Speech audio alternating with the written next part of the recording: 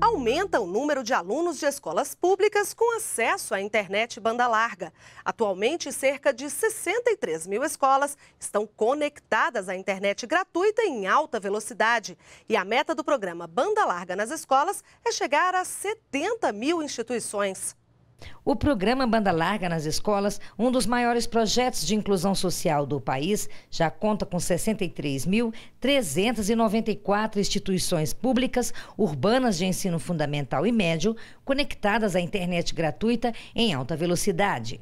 De acordo com o balanço da Associação Brasileira de Telecomunicações, de janeiro a agosto deste ano, as concessionárias de telefonia fixa responsáveis pelo programa conectaram mais de 4.100 novas escolas, uma média de 17 instituições por dia.